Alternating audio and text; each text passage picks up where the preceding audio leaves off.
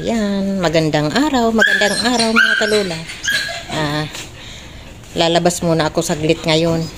Ah, magpapadala ako ng konting pera sa aking nanay pambili ng kanyang gatas.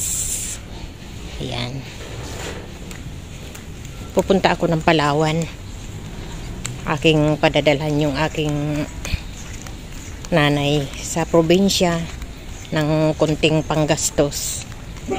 Ang nanay ko kasi napakahilig sa gatas. Kaya aking padadalhan ng konting panggastos. Buwan-buwan aking pinadadalhan ito ng kanyang panggastos. Ayan.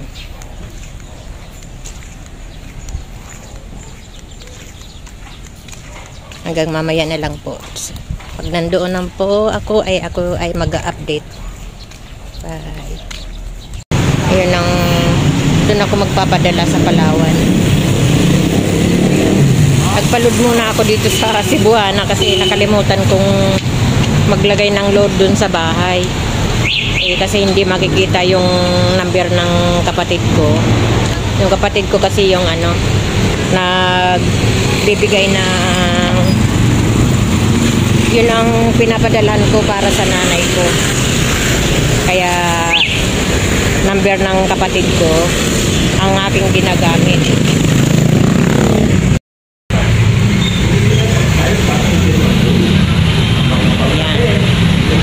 Nandun na sa cashier yung pera ay papadala ko sa nanay ko. Para bukas mayroon silang pamalingki.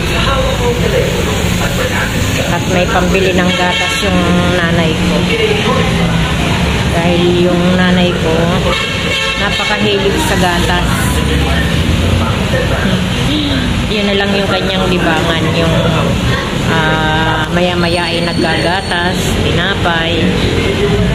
Uh, mahirap na kasi siyang kumain ng ano ng mga solid na pagkain. Kaya ang gusto niya puro gatas lang. Kaya ayan. At sana sa mga anak ang kanilang magulang ay hindi nakakalimutan alalahanin. Ayan, tapos na. Tapos na at uuwi na kami at bibili ako ng kadina ng aso. Ayun.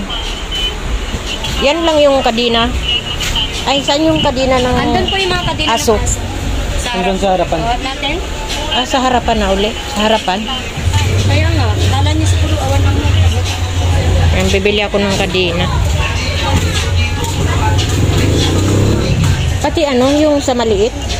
Ito yung sa maliit, yung sa liit. Sa liig, sa, sa liig lang bang diferensya nun?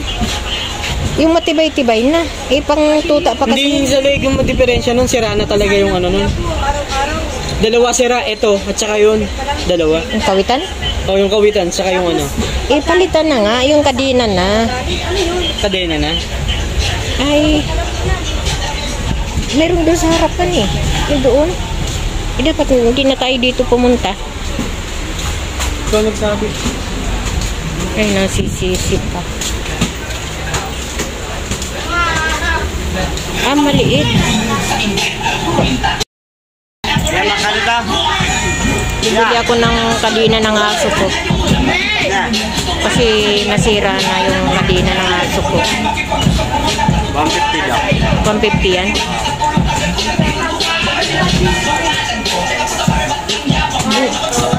Ka- Kahit na hindi na ito kasama, kasama talaga to. Kasi hindi hindi ko naman to kailangan. Ito lang. Tanong mga kung pwedeng hindi kasama yan, baka may bawas pa. Kasama talaga yan? Oo, Hindi pa pwedeng hindi kasama yun.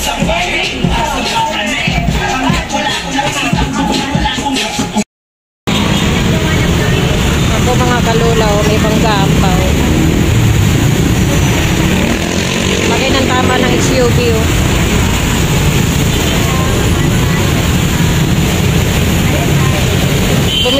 Ako ng gamot. Ito pa yung madaanan ko. May banggaan. Lalong magda-traffic ngayon dito. Ayan. Ibanggaan. Nasa kantong-kanto pa naman. Lalong magdra-traffic ngayon. Oras pa ng labasan. Laki ng tama, oh. Laki ng damage ng SUV, oh.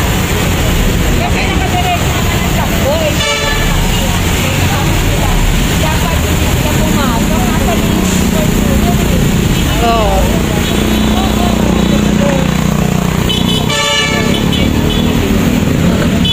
Maling mali. Lalong tra-traffic ngayon. Yung kotse talagang may mali dyan.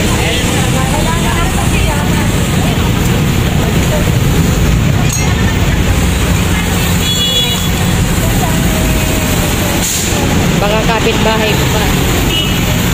Ay, hindi. Hindi ko naman kapitbahay. Ako, la- laki ng traffic nito mamaya-maya. Tapos wala pang ano, nagbabantay, wala pang nagka-traffic.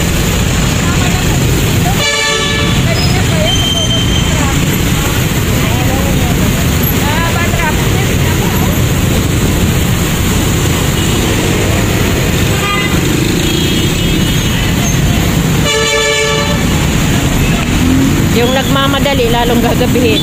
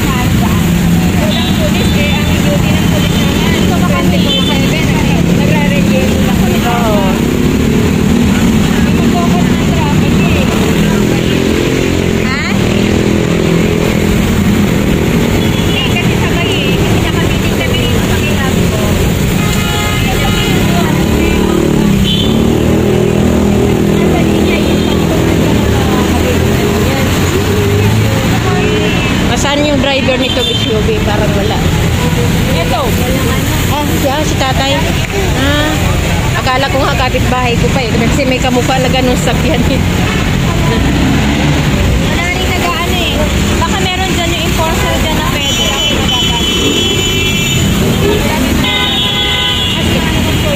Kanina dun sa baba mayroon eh.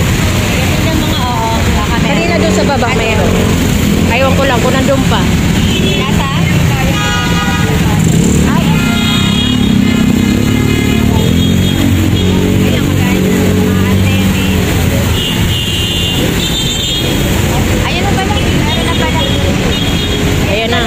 Dumating is, ano, sponsor.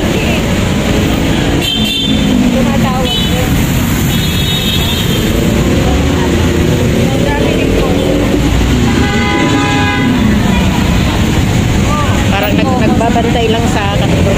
Kasama ba kayo? Oo, yun yan. Oo, ano, Hindi kaya ako. Taga rito lang kasi ako dyan. Kaya, Bumili lang ako ng gamot sa daan. wala bang pulis talaga rito? Mayroon. Mayroon talaga. May nagbabantay dito. Ngayon lang nag-deploy.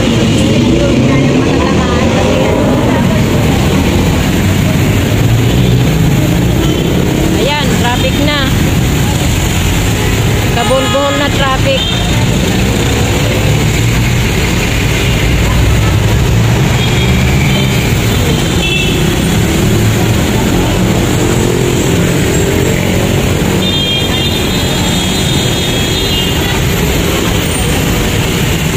Pag-usapan nyo na lang ng mahinahon.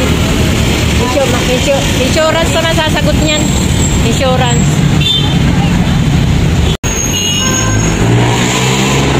Ayan, ngayon lang dumating yung barangay. Wala pang pulis. Mamaya, traffic yan. Yan, may banggahan. Barangay pa lang yun, dumating barangay. Wala pang pulis.